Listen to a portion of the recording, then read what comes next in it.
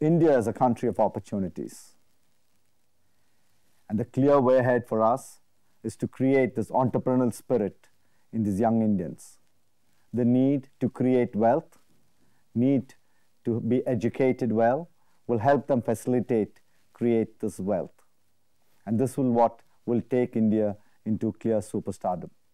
As a nation, I think it's very important that entrepreneurs like us should enthuse young Indians to facilitate their wealth building process.